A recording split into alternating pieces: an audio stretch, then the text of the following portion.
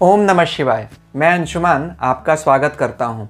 इस वीडियो में मैं आपको धनु राशि यानी सैजिटेरियस साइन का 2021 का राशिफल बताऊँगा।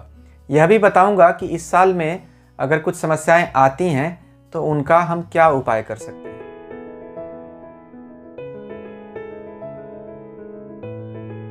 धनु राशि वालों के लिए यह साल रोलर कोस्टर राइड कहा जा सकता है, यानी झूला।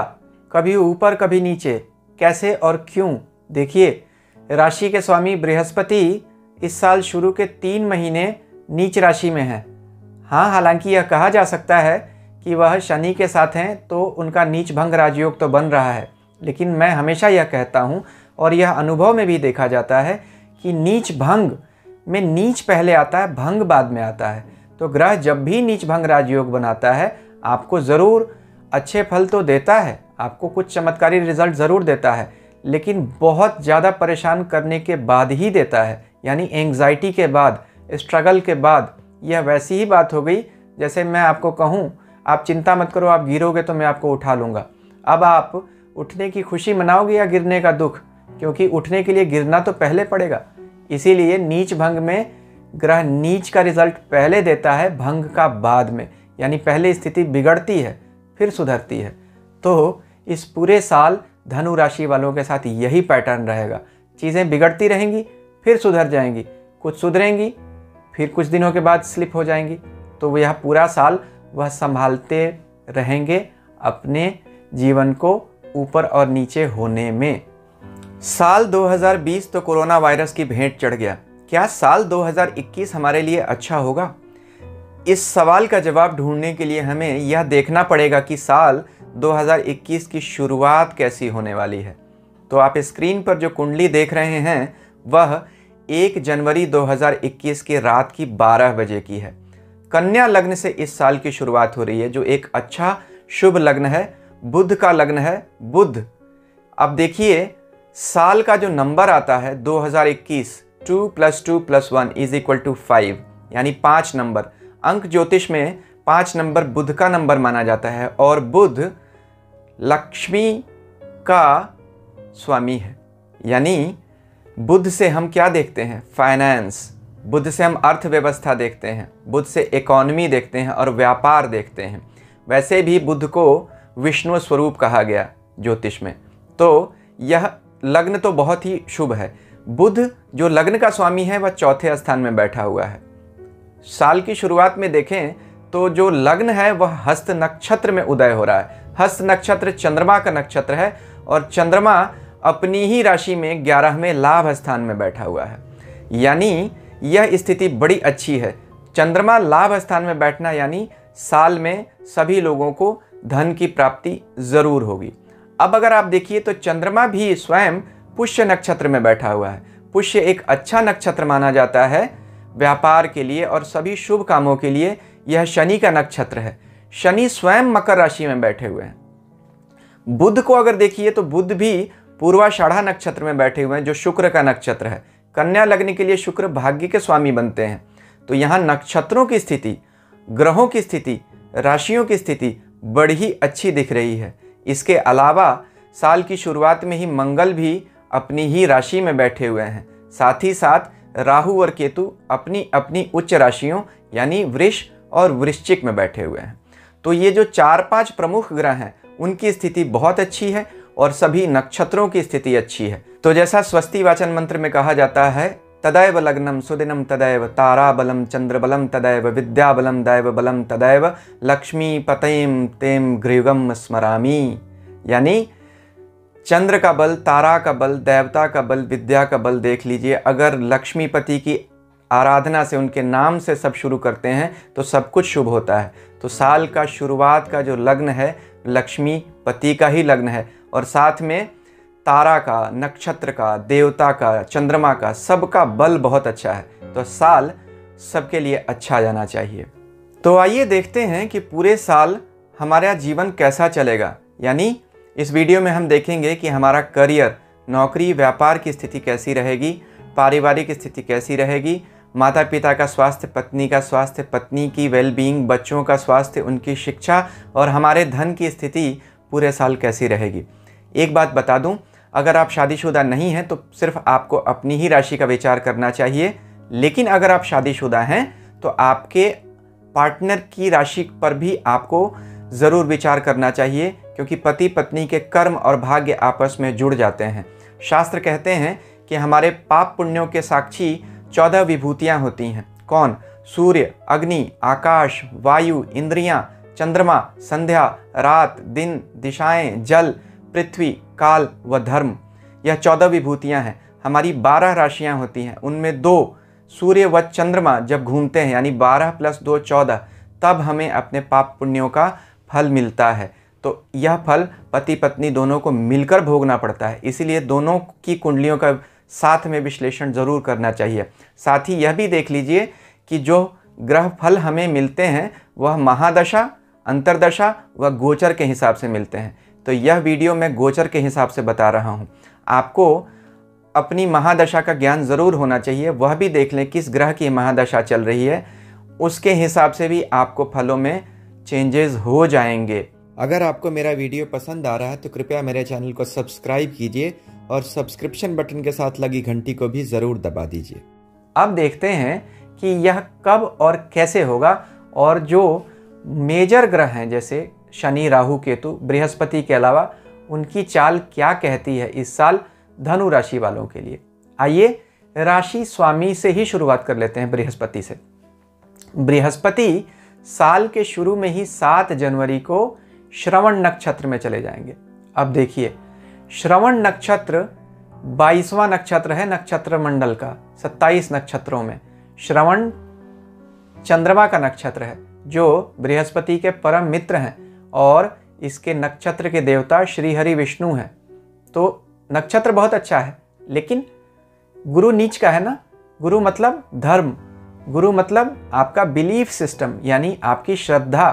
श्रद्धा का ग्रह जब नीच का हो जाता है तो श्रद्धा में कमी आती है। लोग प्रैक्टिकली ज़्यादा सोचने लगते हैं। यानी, अगर मैं आपके पास आऊँ और आपको कहूँ कि देखिए, यहाँ मंदिर बन रहा है, कुछ पैसे चाहिए तो अगर आपका गुरु उच्च का होगा तो आप कहेंगे हाँ ले लीजिए, बिल्कुल ले लीजिए। लेकिन अगर आपका गुरु नीच का होगा तो आप क्या कहेंगे, कहाँ बन रहा है? ज़रा दिखाइए मैप, सही में बन भी रहा है कि नहीं? आपने किसी और से लिया है? क्या उसकी कोई रिसीट है? चंदे की रसीद है, और लोगों ने दिया है? तो गुरु इस तरह से प्रैक्टिकल हो जाते हैं। तो श्रद्धा यहाँ पे प्रैक्टिकल बन जाती है।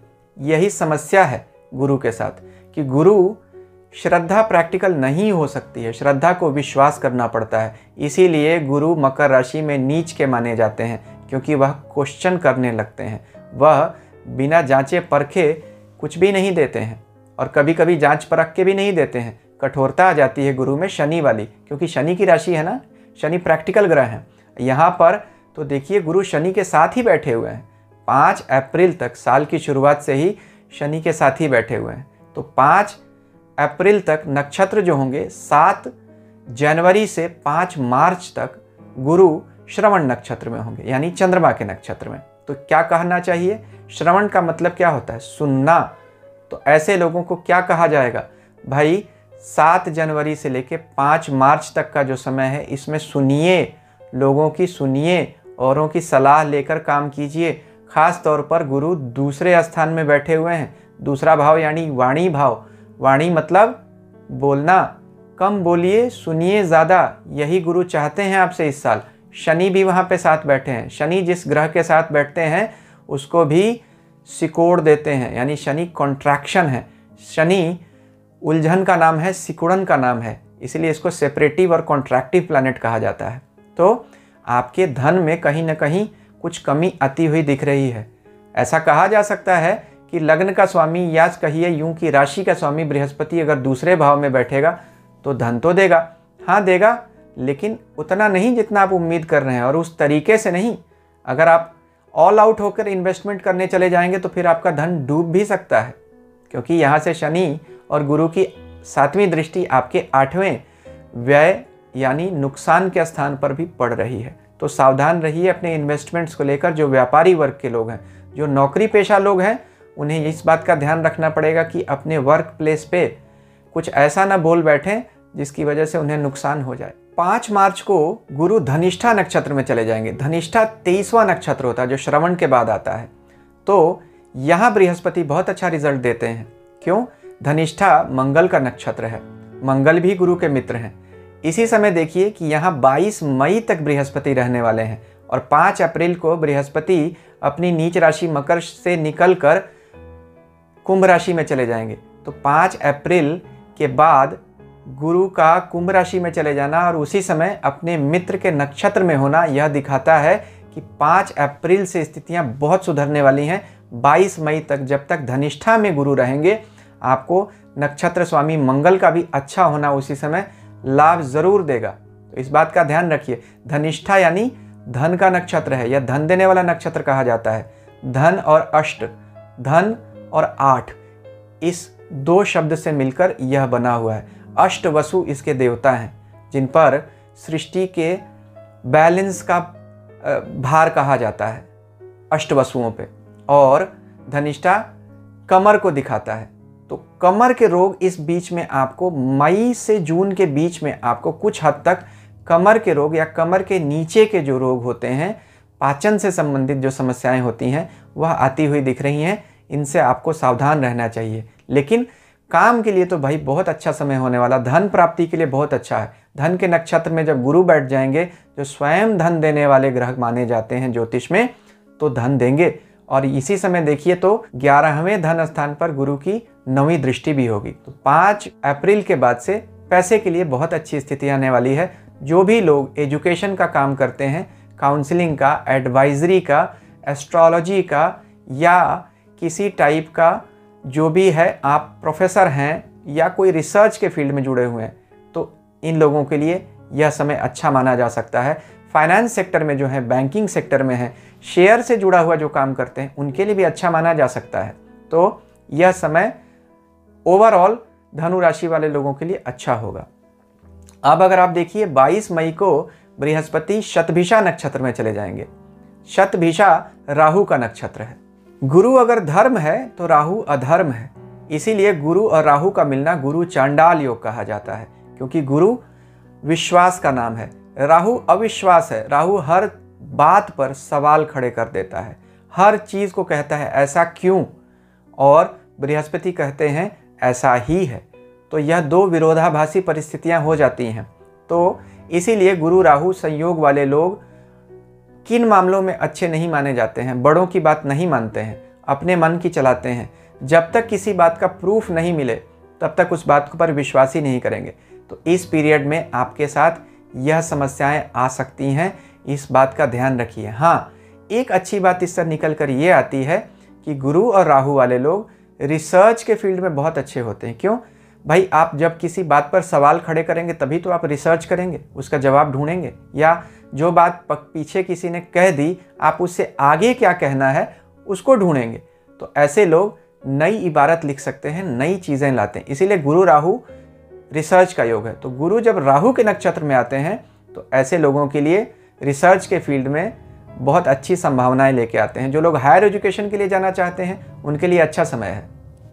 20 जुलाई 2021 को गुरु वापस धनिष्ठा नक्षत्र में आ जाएँगे और वहीं अपने मंगल के नक्षत्र में रहने से, मित्र के नक्षत्र में रहने से फिर अच्छे रिज़ल्ट देना शुरू कर देंगे।